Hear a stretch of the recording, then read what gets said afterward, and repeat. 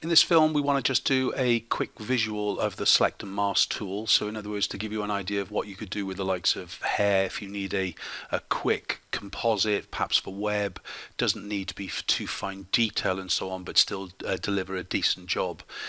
Um, so for me um, let's go a little bit old school. So we'll go up into select and go into select and mask at this point we've got options uh, for the different kind of opacities uh, over on the right hand side. We've got the different viewpoints here.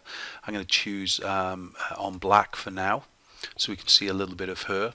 And then on the left hand side we can see the tools palette. This is the uh, quick selection tool and then we're going to be using the refine edge brush when we come back in. But for now with the top um, icon selected just select a little bit and so almost draw it and then it kind of analyzes what is around and then from there at least it's uh, uh, kind of making some intelligent decisions for you so uh, we've got other things within Photoshop which select subject and we do a very very similar job and things really um, but again I just want to as I said, go a little bit old school with it.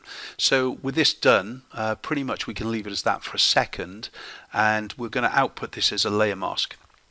So as soon as you kind of bring it back in as the layer mask here, you can see straight away it's changed itself from a background layer uh, and locked now to actually an open kind of layer with a mask on.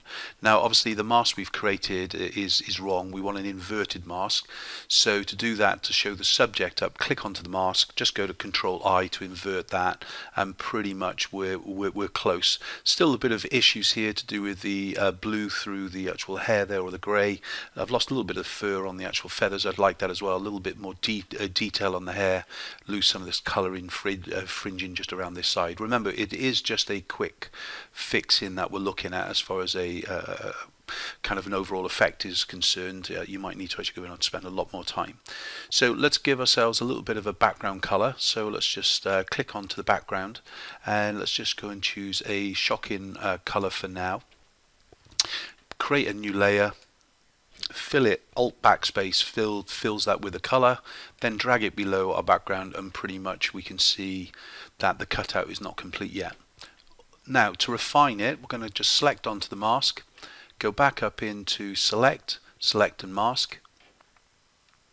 And now we're going to choose the second uh, icon down which is the refine edge brush tool and all we need to do is keep uh, the cursor within the actual hair itself so in other words that crosshair that's the part that needs to actually stay in and then we can actually just make a brush smaller or bigger to start to paint in and out the different levels of, de of detail that we want in here.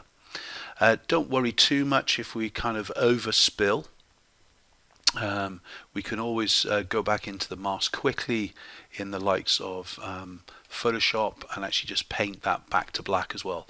So keep in the cursor within the hair color that you want and then just allow it to actually go outside. That's why I said the forehead, I'm not worried about that, we'll paint that back in a minute and then just once more just keeping within that hair just done it on the cheek as well I'm not bothered release the cursor on the mouse and just basically now start to actually paint in the texture of the feathers and so on with it.